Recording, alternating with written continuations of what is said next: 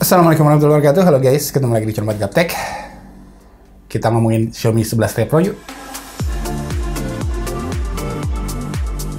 Oke, seperti biasa disclaimer dulu, semua HP yang ada di video ini saya beli sendiri, jadi bukan barang pinjaman atau pemberian dari pihak mana pun. Dan kalau kalian lihat video obat gaptek yang di judulnya ada tanda apinya, nah itu adalah berarti produk yang sangat-sangat saya rekomendasikan buat dibeli. Jadi make sure kalian cek juga. Oke? Jadi ya mungkin kalian udah nonton review Xiaomi 11T Pro ini dari channel-channel teman reviewers yang lain dan mostly saya setuju secara angka Xiaomi 11T Pro ini tuh adalah uh, macan yang besar, berotot, mukanya juga bengis. Tapi ternyata ompong. nah, kita cari dulu nanti ompongnya tuh di mana. Oke, okay? walau tetap ada poin-poin yang bikin saya jatuh cinta banget sama HP ini, tapi juga ada poin-poin yang uh, performanya tuh di bawah ekspektasi saya ya. Yang cukup buat jadi alasan kenapa saya nggak kasih tanda api di judul video ini. Oke, saya urutin alasannya dari poin yang paling saya suka dulu dari sebuah Xiaomi 11T Pro ini sampai ke yang biasa aja menurut saya. Dan ditutup sama poin-poin yang menjadi catatan atau saya nggak suka lah. So, yang bikin saya demen banget sama HP ini adalah nomor satu ada di performa multimedianya. Karena layar Xiaomi 11T Pro ini tuh berkualitas banget ternyata guys. Udah AMOLED dengan refresh rate layarnya 120 Hz, ini mantap banget.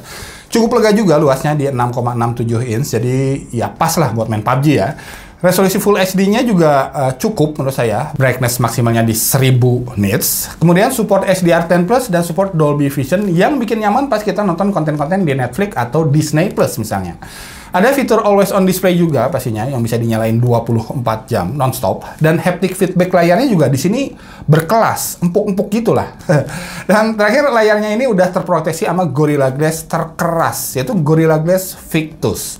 Plus, satu lagi, ditambahin lapisan anti gores lagi biar lapisan oleophobic coatingnya tuh awet di sini. Jadi, ya, wah, mama mia pokoknya. Kemudian buat multimedia, peran speaker juga Ya, penting dong ya. Nah, di sini speakernya udah stereo yang dituning sama Harman Kardon.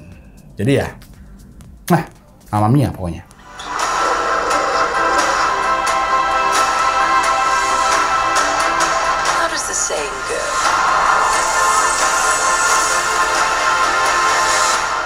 Nomor dua yang saya suka adalah baterainya. 5000 mAh. Kebetulan saya itu lagi hobi push rank Mobile Legend, jadi sehari itu bisa main sampai 4 jam. Kemudian main PUBG juga satu jam, always on display-nya dinyalain 24 jam, dan refresh rate layarnya saya set ke 120 Hz. HP ini masih kuat standby sampai 21 jam. Ini udah cukup banget. Dan ngecasnya dari baterai tinggal sisa 10%, 15 menit aja kelar 100%. Gila sih, 120 watt bos chargernya. Walau memang bodinya agak sedikit panas sih pas ngecasnya, tapi ya nggak beda jauh panasnya sama HP-HP yang chargernya 60 atau bahkan 30 wattan. Ya mungkin ini sedikit lebih panas, tapi panasnya tuh nggak sampai gimana-gimana lah. Kemudian jelas, HP ini punya near field communication, sensor-sensornya lengkap semua, punya infrared blaster juga, dan build quality-nya juga solid banget. Frame-nya metal, plus backdoor-nya tuh udah frosted glass beneran di belakangnya. Asik lah. Nah, kita lanjut masuk ke poin-poin yang belum catatan juga sih, karena kualitasnya udah kebilang bagus kok untuk kelasnya ya. Hanya masih di bawah ekspektasi saya lah. Yang pertama ada di kualitas kameranya. Karena dibanding pendahulunya, si HP daily driver saya kemarin, yaitu Xiaomi Mi 10T Pro, ISP-nya sih di sini lebih baru ya, dari yang dulu pakai ISP Spectra 480, sekarang udah pakai ISP Spectra 580. Hanya sensor kameranya ternyata malah di downgrade dari yang dulu pakai 108 megapiksel Samsung ISOCELL HMX dan luas sensor di 1 per 1,33 inch. Sekarang pakai ISOCELL HM2 aja yang dikenal sebagai sensor 108 megapikselnya HP-HP kelas mid-range. Karena dipakai di Redmi Note 10 sama Real eh Redmi Note 10 Pro ya, sama Realme eh, 8 Pro. Nah, luas sensornya otomatis signifikan lebih sempit di 1,5,2 inch aja. Hasilnya, ya seperti bisa kalian lihat, ada perbaikan color science memang. Warnanya terlihat sedikit lebih baik. Mode malamnya juga ada improvement di sini, mungkin karena pengaruh ISP Spectra 580 yang lebih baru ya. Ya, tapi saya juga kurang tahu. Kalau masalah color science sih sebenarnya ini bisa dibenerin ya. Saya pernah bikin video tutorialnya foto liburan yang tadinya hancur banget dan pengen di delete kayak gini. Dalam beberapa detik bisa saya selamatin jadi instagramable banget kayak gini guys. Ntar link video tutorialnya saya kasih di kolom deskripsi ya buat kalian yang belum nonton. Hanya yang nggak bisa dibohongin adalah luas sensornya itu tadi. Jadi kalau kita foto di kondisi pitch black, hasilnya signifikan lebih baik si pendahulunya, Mi 10T Pro. Nah, kenapa saya selalu tes kamera di kondisi pitch black atau gelap gulita? Uh, karena buat saya ini adalah masalah uh, seberapa besar tingkat kepercayaan saya sama kamera HP dari driver saya. Seberapa bisa diandalkannya lah. Seberapa pantaskah kau untuk kutunggu? Ketahuan tuanya. Jadi kalau di kondisi pitch black aja aman, jadi kalau suatu hari saya harus ambil foto di kondisi semenantang apa pun, dengan PD saya bakalan ambil foto pakai kamera HP saya dan tahu hasilnya bakal nggak mengecewakan.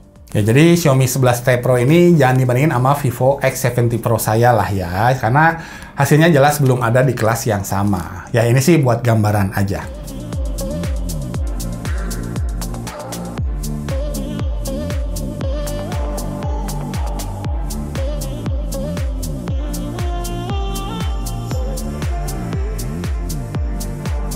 Nah, karena pakai sensor kamera mid-range, tapi pakai ISP high-end, jadinya Xiaomi 11 Type Pro ini bisa punya sedikit keunggulan kalau kita bandingin sama HP-HP mid-range kayak Samsung Galaxy M52 5G yang 5 jutaan misalnya. Itu ketika sama-sama pakai mode malam atau kalau kita foto-foto di kondisi pitch black-nya. Tapi, kalau kita ambil fotonya di kondisi pencahayaan yang memadai, perbedaan kualitasnya tuh nggak uh, bakal terlalu jauh ternyata. Bahkan color science Samsung tuh sesekali bisa tampil lebih balance menurut saya. Kalau hasil foto selfie-nya, saya suka. Hasilnya bagus banget menurut saya. Muka saya tuh terlihat lebih mulus daripada aslinya. Tapi tetap kelihatan natural banget. Jadi kayak yang nggak pakai mode beauty gitu. Padahal mah secara default mode beauty-nya tuh nyala. Hanya memang kamera-kamera pendampingnya sih menurut saya ini nggak istimewa, walau lensa makronya sih udah 5 megapiksel ya, lumayan, artis nggak 2 megapiksel amat. Tapi lensa wide angle-nya sih belum dikasih yang 12 megapiksel kayak Samsung Galaxy M52 5G misalnya. Untuk video kembali ini di downgrade, yang tadinya di Mi 10 Pro yang lama punya optical image stabilization, sekarang nggak ada. Kita lihat yuk bedanya kayak gimana sih. Jadi kita lihat perekamannya di resolusi 4K, 30 frame per second, kita lihat stabilisasinya menarik karena Mi 10 T Pro punya optical image stabilization sedangkan Xiaomi 11 T Pro ini dihilangkan fitur ini. Banyak yang menyayangkan ya tapi kita lihat apakah stabilisasinya ngaruh. Kalau kita lari lari guys.